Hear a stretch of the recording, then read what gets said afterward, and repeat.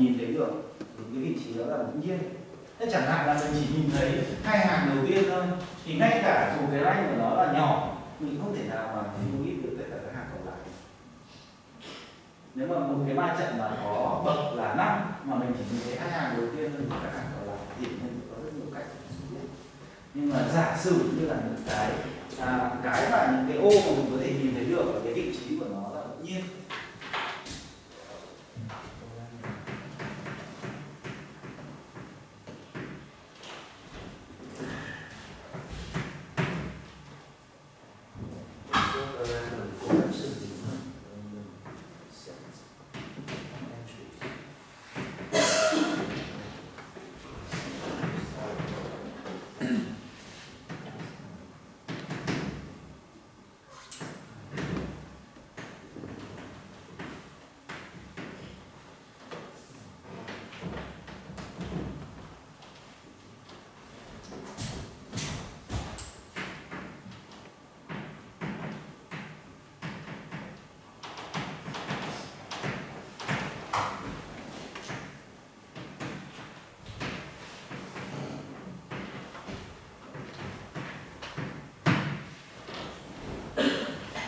Thì khi đó với xác suất gần thứ một,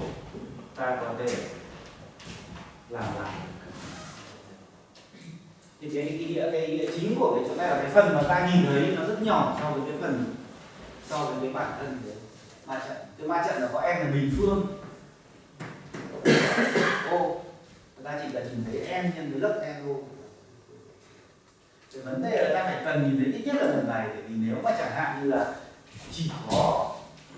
mình chỉ nhìn thấy em chia cho hai ô thì sẽ có rất nhiều hàng nó, toàn là zero những cái hàng thì không thể có hàng nào mà để biết là chính xác mà nếu mà ta mà, nếu mà chúng ta, những cái position của những cái entry này còn là ngẫu nhiên nữa thì nó có một cái phản ứng cúc quần của vector là muốn trong một cái hàng nào nó không có zero. Đối với cái hàng nó vector cái này nó gần như đối như. Nếu mà mình nhìn thấy ít hơn cái số này thì sẽ khó mà có thể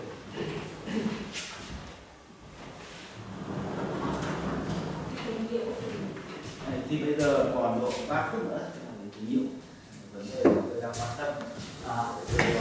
Why not? Okay.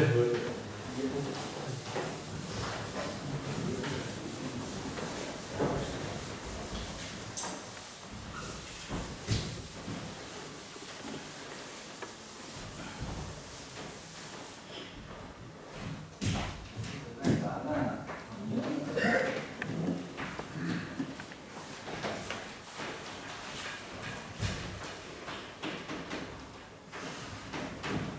Cái cái nhiễu này, nhiễu là một ma trận E. Mà cái nhiễu này thì một nhiễu này, nó là một cái nhiễu ngẫu nhiên, nhưng mà mỗi ô chẳng hạn thì nó sẽ có một cái random noise nhiễu ngẫu nhiên nó ra.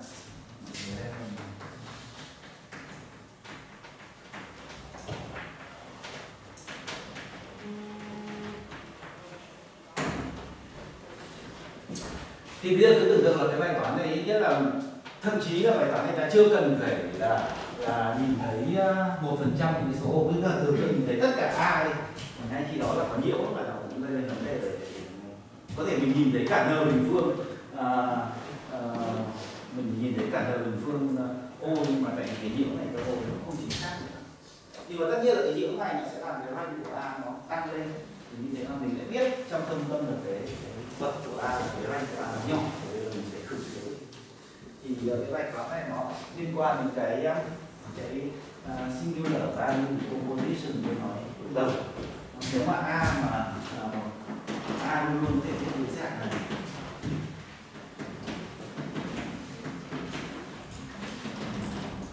Nhưng mà nếu a mà có anh là k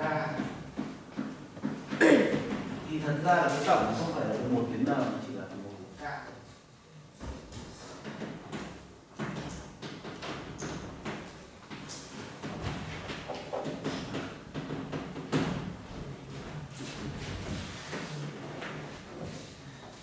thế, nhưng mà cái này là cái version mà không có nhiễu nhưng mà nhiễu.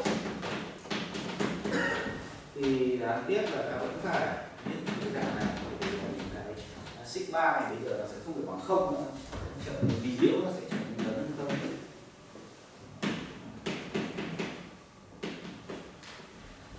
Thì bây giờ, giả sử ta làm một cái gì naive nhất cắt cái phần này mình sẽ cắt ca cái ca cái ca cái term đầu tiên của cái cái tổng này.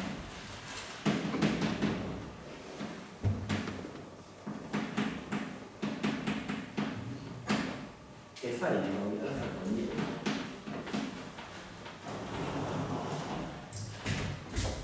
câu hỏi đây là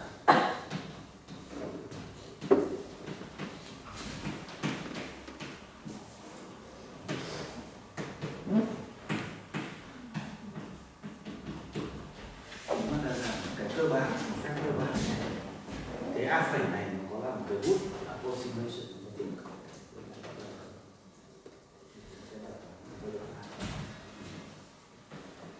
thì cái bài toán này nó có một cái thú vị. Trong cái phút cuối cùng này tôi có nói một cái thú vị à, à, ta giả sử cái e này có một cái mô hình rất là dễ e là một cái mô hình như thế này có tất cả các kiểu là cái này là IID hay là variable mình zero variance là à, thì à, kỳ vọng của zero mà phương sai là sigma bình phương thì tất nhiên là tất cả những cái nhiễu này nó sẽ phụ thuộc vào cái sigma. Thì à, ta có thể tưởng tượng là nếu mà sigma bình phương tiến đến không thì là thì những cái thì những cái giá trị kỳ dị nó phải tiến đến cái giá trị kỳ dị của cái lúc đầu. Tức là nếu mà không có nhiễu gì thì là hai cái a và a phẩy bằng nhau. Thì ta sẽ có thể tưởng tượng như thế. Nếu mà để cái nhiễu này càng ngày càng nhỏ đi thì cái giá trị kỳ dị nó phải đến cái giá trị lúc đầu. Và các vector riêng nó cũng phải biến cái vector riêng lúc đầu đúng không thì trong ba cái khai triển kỳ dị này là không ghi nhận thì cái tiến tới hiệu thông hiện nào cái kỳ dị này duy nhất chứ à. à, thì trong cái thì trong cái nếu không tính nhất mình có thể fix cái sai của mình à, thì trong cái trong ba cái này ba cái statement này có cái đầu này là đúng hay là sai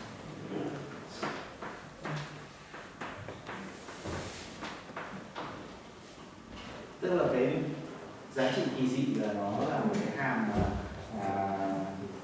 à, continuous phụ thuộc vào sigma sigma càng nhỏ thì cái cái điểm khác nhau thay đổi kỳ dị càng nhỏ nhưng mà bản thân cái vector riêng không cái nó không phải là hàm thiên cái trơn thì đây là cái mà nó làm cho chúng ta trong cái trường hợp noise thì nó khác